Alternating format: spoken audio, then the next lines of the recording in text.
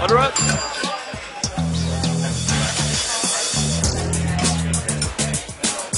Here's your bacon. Oh, thanks. It's raised on anchovies, you know. Bacon? Well, pigs. Uh, pigs like anchovies. Lots of anchovies. The penguins don't like that. I thought penguins loved anchovies. Oh, they do. Uh, that's the problem. Coffee? Sure. Wrong with that? Oh, no, uh, just that the very best coffee passes through the intestine of a cat like Indonesian mammal. So, what do you think I should have for breakfast? Stick around. I'll show you.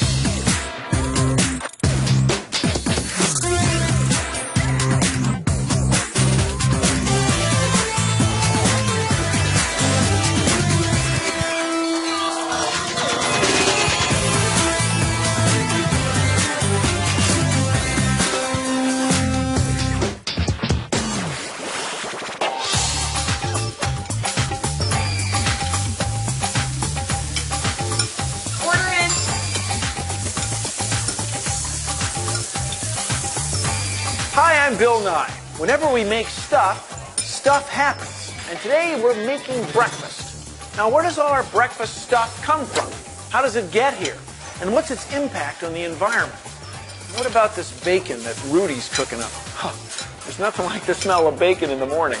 And Americans consume over 2 billion pounds of bacon every year. It's a primary breakfast food in most Western nations. But our love of bacon has an effect on the food chain that may surprise you. Welcome to my world. From this laboratory, I look for the secret links between all of our stuff and the environment. So, what's the deal with bacon? And how does that connect to penguins? The deal with bacon is how pigs eat. Pigs eat like pigs, but it's what we give them to eat that causes trouble. Thanks to us, pigs eat a lot of fish. That's right, they may be in Kansas, but these porkers are seafood lovers. They love little fish. I'm talking herring, sardines, and especially anchovies. Pig farmers say eating fish helps their animals grow to that wonderfully ample size that consumers want. This tale of fish and pigs takes us to the coast of Peru near a place called Punta San Juan. It's the largest anchovy fishery on the planet. As human demand for bacon grows, so does the demand for fish feed. The net result is we're catching a lot more anchovies now and seriously depleting the world's anchovy population. Overfishing in Peru for livestock feed is leaving the Humboldt penguins, brown pelicans, and other South American seabirds with nothing to eat. These birds are dangerously close to starving because the anchovy and sardine populations have been decimated. Anchovies are not alone. Of course not. They travel in big schools. but their troubles are a symptom of a much larger problem. Fish stocks all over the world have started to collapse. And that means none of us will be eating any fish in 50 years unless we do something. The Peruvian anchovy is just the tip of the fishery iceberg. So if this bothers you and you want to do something about it, here are a few options as you bring home the bacon. First, strange as it may seem, you could eat more anchovies. See, this would raise the price of the fish and make anchovy fish feed more costly and less desirable to pig farmers. Next, eat organic bacon from pigs raised on 100% agricultural feed. Grass fed pork is the best, followed by grain fed. If you're looking for true organic meat products, make sure it's grass fed only.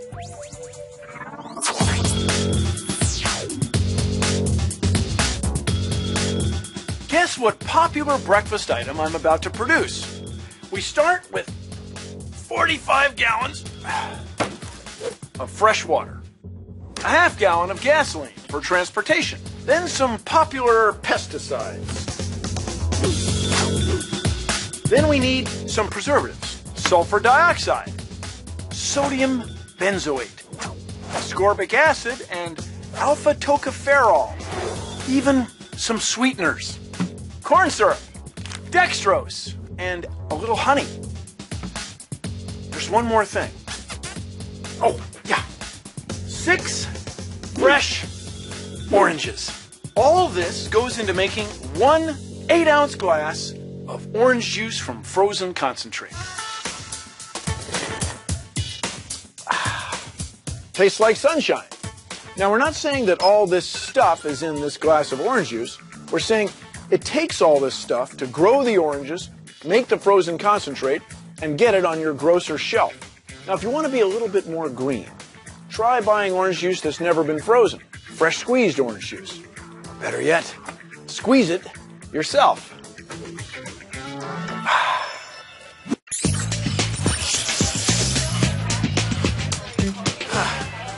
Back to breakfast. There's something else missing. My coffee.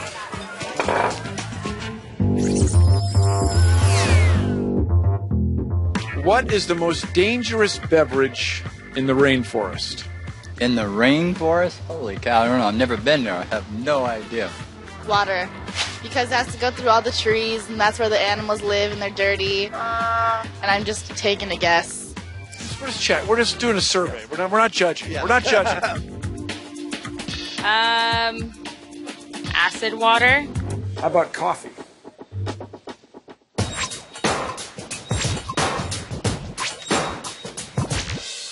We humans love coffee. People around the world drink 400 billion cups a year. And at 50 coffee beans a cup, that's a lot of beans. Billions and billions, just to keep our pitchers pouring. Coffee is grown primarily in equatorial rainforests and consumed everywhere else. Until a few decades ago, most of the world's coffee was planted in what's called the understory of these forests. The understory is under the canopy of trees, but above the forest floor and subfloor. You've probably heard the term shade grown.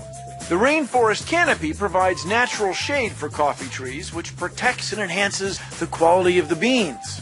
But today, more and more coffee beans, Robusta beans in particular, are coming from clear cut tracts of land because growers have found that they can get higher yields per acre by growing coffee in the sun.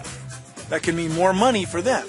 But it also means no shade for the coffee trees, which is hard on the beans. Farmers end up growing coffee trees in a monoculture, just one species on an unnaturally large area of land. Now, this is bad for the soil and it ruins the natural habitat. Sun grown coffee not only affects the coffee trees themselves, it affects everything else in the rainforest. Now, these are coffee beans right off the bush. They look a lot like cherries, and they have a husk or shell that has to be removed to get to the bean or seed inside. That's the part we roast and grind to make our savory cup of joe. Now, there are a lot of ways to get the husk or shell off the bean, and you can probably think of a few. But there's one way that might not have occurred to you at first. It's a little unusual. Behold the palm civet. You probably call it by its Latin name. Paradoxurus hermaphroditus. of course. Here in Indonesia, on the islands of Sumatra, Java, and Sulawesi, the best coffee beans are processed right through the intestines of this cat-like creature. See, the civet eats the fruit, but digests only the pulpy husk and passes the beans, ready to roast. No kidding. Now, coffee lovers say whatever happens to the beans inside the civet makes this coffee exquisite and extremely expensive. It's called Kopi Luwak, the most expensive coffee in the world. It sells for between 120 and 600 US dollars per pound. But the thing of it is, the civet is indigenous to the rainforests, which are being whacked down and replaced with aggressive short-term monoculture coffee plantations. Coffee growers are stripping the rainforest to grow the cheaper, coarser Robusta bean, but it's wiping out the civets, which could have been bringing them huge profits. And it's wiping out dozens of other species, including the Sumatran tiger and orangutan. But some people are trying to change that by getting the word out to coffee farmers that green methods are good for business.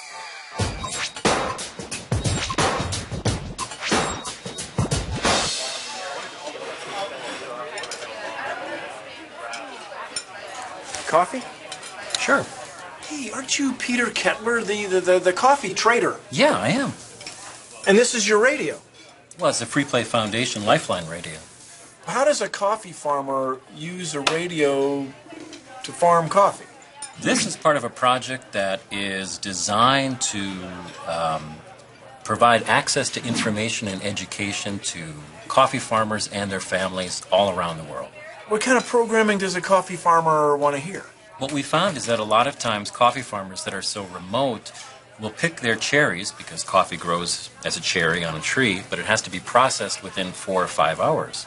So you have these people going around and gathering up the cherries, and they would come around and say, "Oh no, the price of coffee has plummeted another 10 or 15 cents," when actually the price may have risen. They were lying. So people were being taken advantage of. Freeplay Foundation is really about providing access to information through these radios. Our pilot project is in Rwanda uh, for a variety of different reasons. It's the most densely populated country in Africa. Its main export is coffee. 97% of the population of Rwanda are subsistence farmers. I would say the vast majority of them rely on coffee as their main economic income. So when I go to buy coffee, how can I get coffee that's sustainably grown? There are all sorts of certifications that are applied to uh, to coffee. There's organic, there's uh, fair trade, there's shade grown. Probably the only thing that we don't have is dolphin safe coffee at this point. Um, I bet that's good. so, so there's there there's lots of certifications that are marked on there. But what you really want to look for is uh, whatever it is, sustainably grown coffee. Hey, Peter, thank you very much uh, for taking this time and talking with me, but I, I should get back to work. Oh, Bill, before you go, could I get a cup of coffee? Oh, yeah, sure. Oh, uh, a hot cup, please. Oh, hot. Right. Coffee expert, hot cup.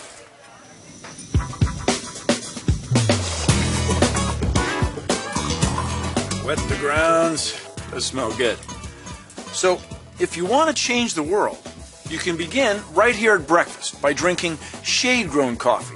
If consumer demand for shade grown coffee rises, we can slow the destruction of rainforests. So we need to get the word out to consumers.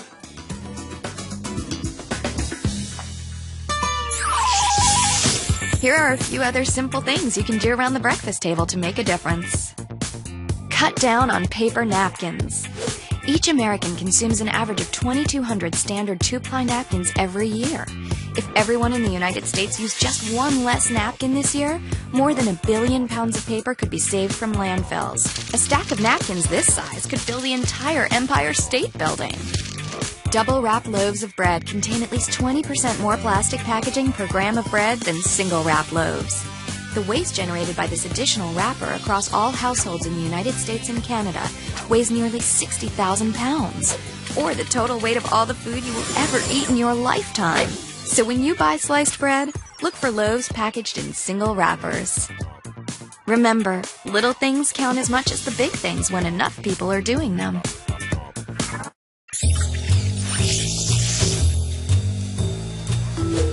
Now you're back, and I'm still eating breakfast. I often enjoy fruit at breakfast, and in the US, it's pretty easy to get. But for most of us, produce like this doesn't come from our backyards. It comes from miles and miles away.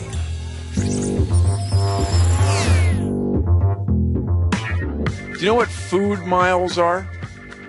Um, calories? A food mile? Um, is that's when you have uh, 5,280 pig's feet in a jar. It's crazy. I thought you were gonna ask me questions. I didn't know the answers. Like when when you're trying to lose weight, you do like the food mile to kind of burn off the calories. Is it like when you're trying to lose weight? Nope. Makes me hungry though. Add the cost of the food where it's made to the cost of shipping it to where we want to sell it. And you get a term called food miles. Say you're in the middle of New York City, the Big Apple, and you buy an apple at the corner market. Where do you think the apples come from? Upstate? Pennsylvania? Or even New Jersey? No, 75% of the apples sold in Manhattan come from the west coast of the United States, 3,000 miles away. Or from New Zealand, which is 9,000 miles away, even though New York State produces far more apples than its residents can consume. In Iowa, the typical carrot has traveled 1,600 miles from California, a potato 1,200 miles from Idaho. Bananas travel from Costa Rica. Strawberries are shipped from Washington, but can be grown in a Des Moines backyard. And grapes are grown in California. But the ones you'll find in the Hawkeye State are imported from Chile. The cost to the environment is huge. Right now, cheaper fruit at breakfast means more trucks on the road, more ships at sea, more planes in flight, and more carbon in the air. Well, how much? Well, if we ship one ton of Washington State apples to London, England, we pump five tons of CO2 into the atmosphere. So, what are we going to do about all this? How can we save money, use less fuel, and still eat the foods we want? Eat seasonally. We Americans have become accustomed to having any food we want any time of the year. But if we start eating fruits that are in season, grapes and melons in the summers, pears and grapefruits in the winter, and by buying locally grown fruit, we help the environment by not transporting goods as far to get produce that's out of season. Remember, you, the consumer, have the ultimate power to change the way food is delivered. Vote with your wallet.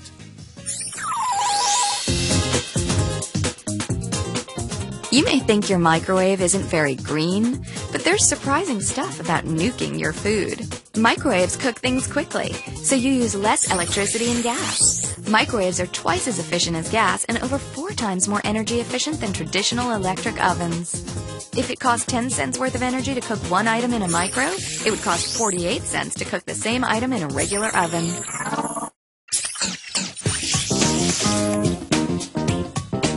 Welcome back. I'm preparing an omelet. Omelet a la tip de science, the science guy omelet. See, you can't talk about breakfast without talking about eggs. Americans eat 67 billion of them every year. What's not to love about eggs? Well, from a green perspective, it all boils down to one of the great mysteries of life.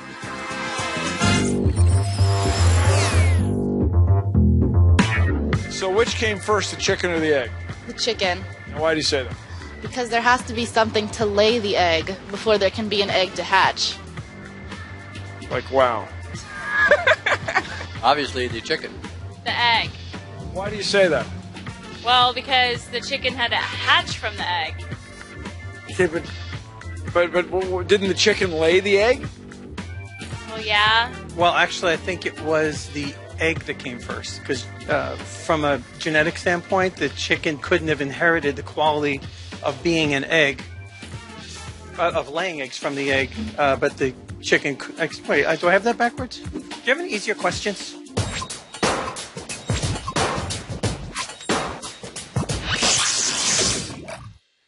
Days, most of the eggs on our plates come from chickens that live in enormous poultry farms. The average poultry chicken lives about a year and a half and lays 100 eggs. They spend their lives in tiny little cells called battery cages, and these cages are so small that the chickens can't move. They lay eggs until their bones collapse from disuse. Now, why is this an environmental issue? First, because it's wasteful. It takes about 48 gallons of water and 7 pounds of grain to produce just one battery egg. And many feel it's cruel, wasting the lives of millions of animals. And there's more. Large chicken houses release enormous amounts of ammonia gas into the atmosphere. Ammonia is rich in nitrogen, which makes plants grow. The problem is, when all that chicken farm ammonia returns to Earth in rain or dust, it over-fertilizes algae in the sea. Then the overabundant algae get eaten by microorganisms that suck the oxygen out of the water, and this ironically creates dead zones in the sea where fish cannot survive. So off the shores of Maryland and Virginia, there's a dead zone that's 200 miles long and 35 miles wide. So you want to avoid battery cage eggs. But should you buy free range eggs instead? Well, maybe not. It turns out the words free range are meaningless, at least where poultry is concerned. Instead, you want to look for organic eggs. Eggs labeled organic come from farms that meet USDA guidelines. These chickens were not pumped full of antibiotics and dyes to make the eggshells look whiter. These are healthy eggs from healthy chickens that live a pretty good life for a chicken. So, buy organic eggs. The choices we make every day affect how we're going to get food on the table. Now, you don't have to stop eating bacon.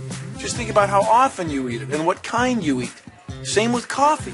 You don't have to stop having that early morning cup of joe, but find out who's making it and where it came from, how it's grown.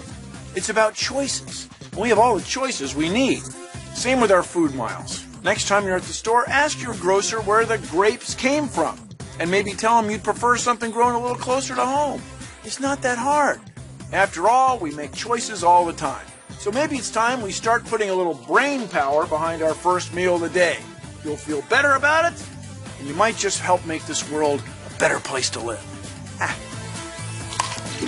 To learn more, go to planetgreen.com.